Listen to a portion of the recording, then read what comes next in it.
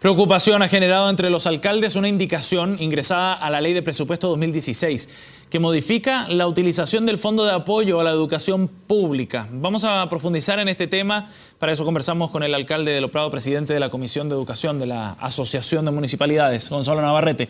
Gracias por estar con nosotros, alcalde. Bienvenido. ¿Qué tal? Buen, buen día. Muchas gracias. Alcalde, a ver, eh, veamos primero en detalle en qué consiste esta indicación presentada por la diputada Proboste Girardi, ¿no? Sí, pues.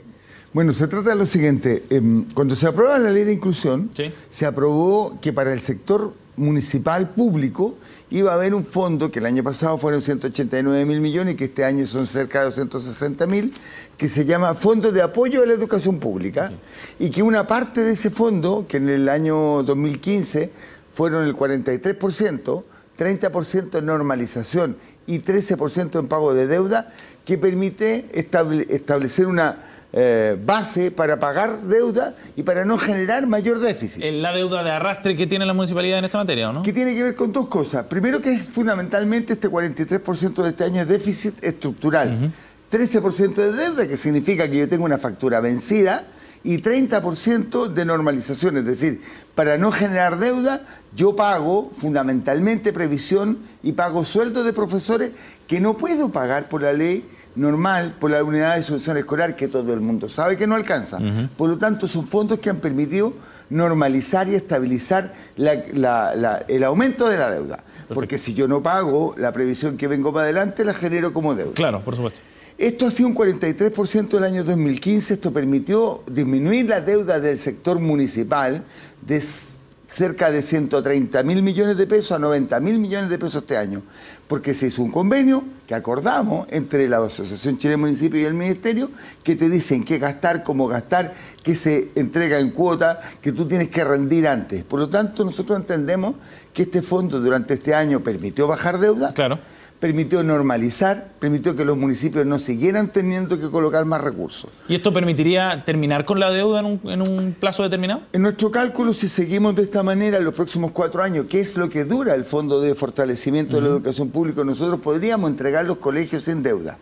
Si esto se entiende como una nueva ley CEP, porque el problema que tenemos hoy día es que la ley que te entrega recursos por otra vía, que es la CEP, o el proyecto de integración escolar, que es fundamentalmente para los temas de calidad, en el, estamos en el límite en el cual ya la creatividad no da.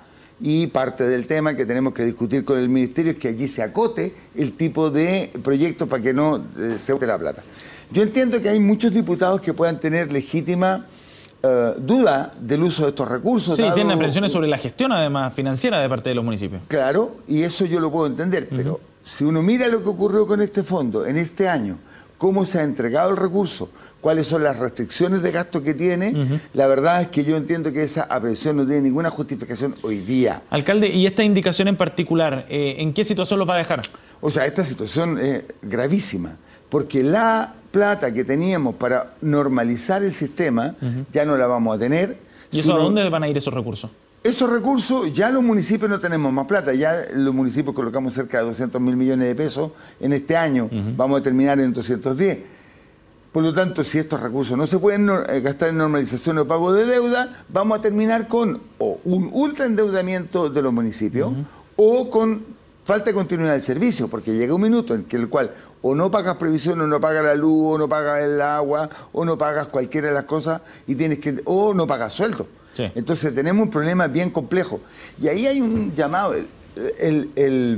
la Cámara aprobó el año pasado una ley de titularidad que colocó a los profesores que estaban no solo en aula, sino los que están contratados por la Asociación Escolar Preferencial y por el PIE, en titularidad. Esos son cerca de 20 mil millones de pesos más de costo regular al sistema.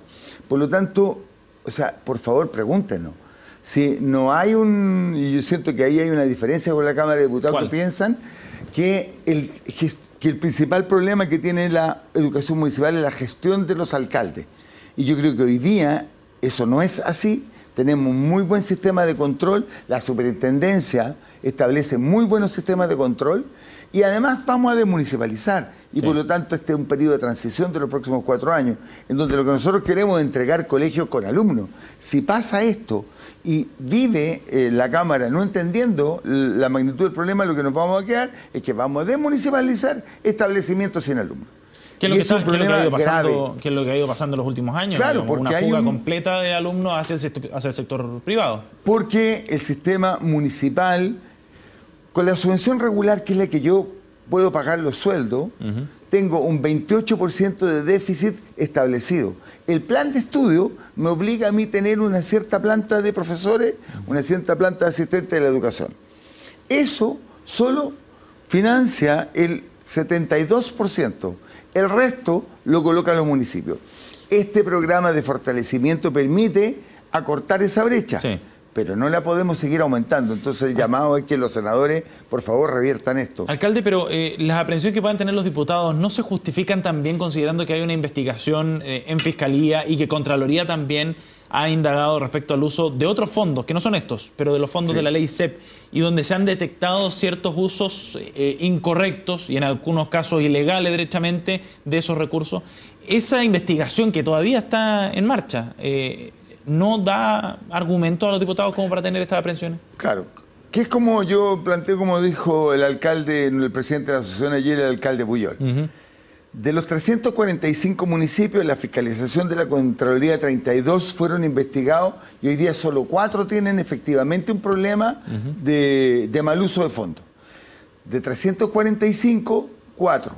Por lo tanto, sí, efectivamente hay algunos que tienen algún problema, pero desde el punto de vista del sistema, que es lo que este fondo trata de resolver, yo creo que tenemos una buena cobertura que los resultados de este año muestran que bajamos la deuda, que hay un buen sistema de control, que el, acuerdo que tenemos con el Ministerio en torno a qué se usa, cómo se usa, piensa tú que en este año vamos a estar solo el 13% en deuda, pero el 40% en normalización. Es decir, reconocemos que tenemos una planta de personal que no podemos pagar por la subvención regular. Y aquí hay un tema que es bien de fondo, que lo hemos tratado otras veces. Un sistema como el sistema público municipal, que tiene 13 vías de financiamiento paralelas, distintas y restrictivas, es un tema que tenemos que cambiar. Yo entiendo que eso no hay espacio político para hacerlo hoy día. No, y viene la desmunicipalización.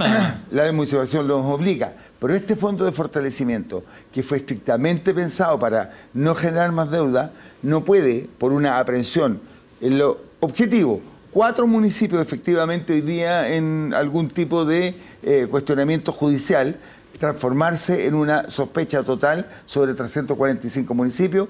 Nosotros, si esto ocurre, vamos a aumentar entre 35 y 40 mil pesos la deuda, no queda otra, no tenemos otra alternativa. Y 35 ah, 40 mil millones, de pesos, eh, en el año 2016. Y entonces vamos a terminar entregando un sistema desfinanciado, sin capacidad operativa y seguir disminuyendo el número de alumnos. ¿Y eso podría poner en riesgo eventualmente el proceso de desmunicipalización que quiere llevar adelante el gobierno? O sea, yo creo que eh, la legalidad probablemente no lo va a colocar en riesgo. Pero, pero, va a colocar en riesgo que vamos a tener desmunicipalizando establecimientos vacíos. Y con un endeudamiento increíble. Esa plata va a haber que pagarla en algún rato el Estado. Y por lo tanto, yo, nosotros decimos, más sistemas de control, ningún problema si esto requiere que la superintendencia esté más encima, no tenemos problema, pero es que se entiende que el problema básico aquí es que la fuente de financiamiento central, que es la unidad de subvención escolar regular, no basta. Que esto no es un nuevo fondo CEP, no podemos tener otro fondo CEP, no es otro fondo PIE, Programa de Integración Escolar. Hoy día nosotros estamos en disposición de cambiar o ampliar los fondos del PIE porque finalmente tenemos más plata que la podemos gastar. Entonces los diputados tienen que entender que la complejidad que ellos nos han ido generando de 12 formas de pago a, los proveedores y de 37 asignaciones a los, eh, eh, a los docentes no puede seguir. Eso es porque cada una de estas leyes tiene que ver con una sospecha de alguien sobre algo. Alcalde Navarrete, muchas gracias por haber venido esta mañana. Muchas gracias a ¿eh? usted, que esté muy bien.